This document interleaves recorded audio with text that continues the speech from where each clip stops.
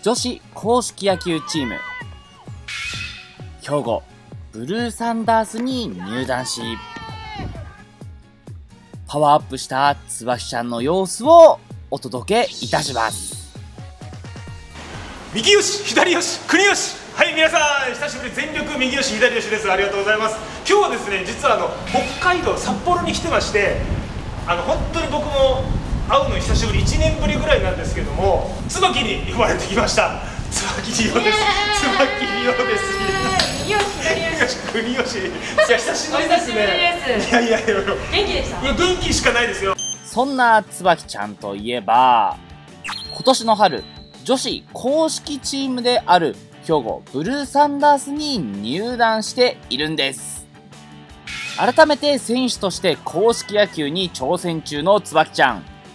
そんな椿ちゃんと国吉さんが今日何をするかというと、今日はですね、はい。しっかりプレイヤーとしてう。フィジカルを上げていきたいとおパフォーマンスを上げていきたいと、まあ大事ですね、はい、いうことでですね、はい。あの国吉さんもいはいはい。沖縄で野球やってますもんね、今まあまあ確かに去年沖縄行ってから最近あの始めましたね今年も、はい。うん。なので沖縄から呼んで一緒にトレーニングしようと呼びましたということで、本日やってきたのは R フィジオラボという札幌市にある、えーパーソナルトレーニングジムでございます。この日トレーニングを見てくださるのは小川哲弘さん。高校や大学の野球部でフィジカルトレーナーを務めたり、プロ選手のサポートもする野球フィジカルのプロ。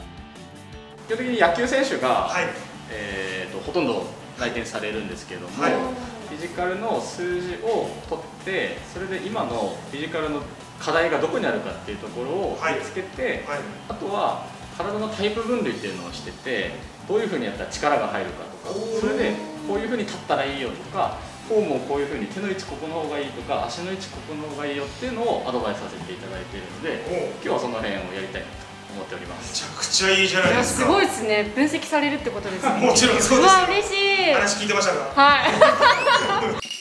というわけで、まずは椿ちゃんの体を、この特殊な機械を使ってチェック。今ですと全身だと骨格筋って。体幹も右腕も左足も右足も全てですね。アスリートとしてはちょっとやや少なめ。とちょっと言わざるを得ないかなと。ありがとうございます。もう今日は正直にビシビシもう大公開してくださいあと一番こう大事にしているのがですね女子肪量といって体の体重から脂肪の量だけを抜いた値を女子肪量っていうんですね。でそれを身長で割った値を女子肪指数っていうのがありまして、これが、えっと、野球選手で、えっと、身長が低くてもホームランが打てたりする方いらっしゃるじゃないですか。はいはいはい。今こうですねトビックスになっているところで、えー。これいわゆる分かりやすいのでいくとなんかそのホームラン数値みたいな感じでシンそうです。プルに考えていいですそうですそうです。おーそうなんです今の私じゃ打てないぞとちょっと厳しいかも そうですよね。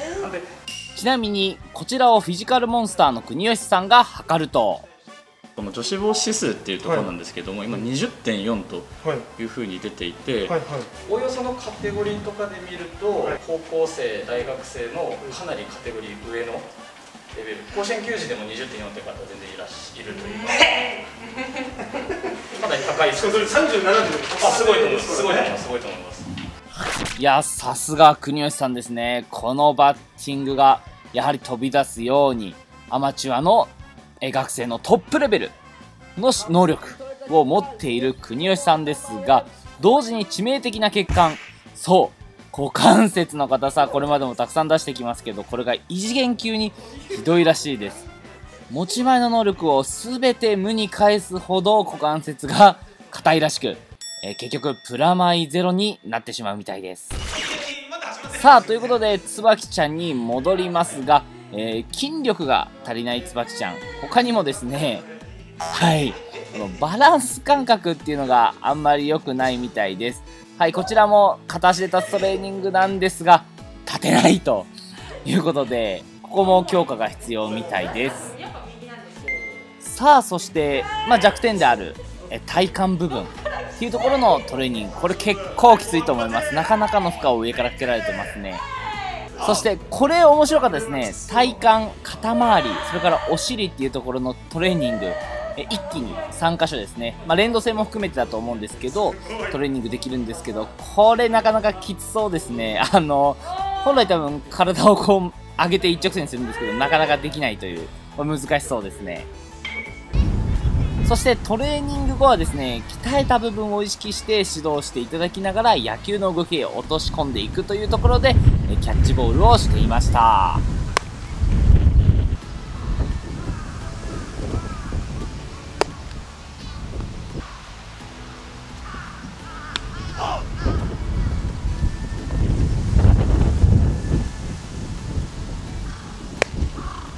はい、そしてそんなトレーニングを積んで、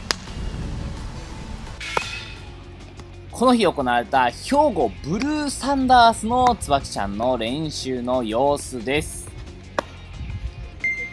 高校生ぶりの公式野球に挑戦しているとのこと、なかなか恐怖感もあるんじゃないでしょうか。いきなり高い強度で投げるとですね、やっぱり軟式から、えー、打ってるので、肩肘の負担が大きいということで、まずは、えー、軽い強度で調整しているとのこと。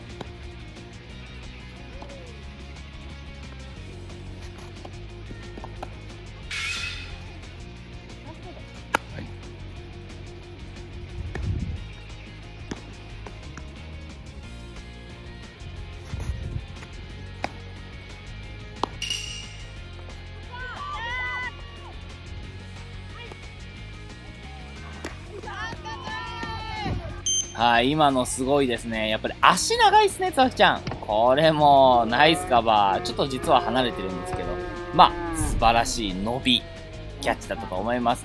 そんなつわきちゃんですが、先日、始球式を行いました。その様子、映像をいただきましたので、ご覧ください。女子野球兵庫ブルーサンダーズにも所属をしております女優でありモデルでもあります椿理央さん昨年に続いての、まあ、始球式となります。さああのビッグボスも打ち取った椿理央さんセットポジションから。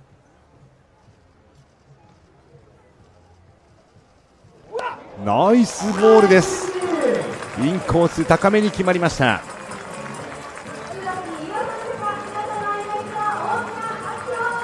椿理央さんの始球式でありました。さあ公式に転向し奮闘するつばきちゃんでした。なかなか今あっぱれは来れてないんですけど、えー、我々も応援してますので皆さんもぜひぜひ応援お願いいたします。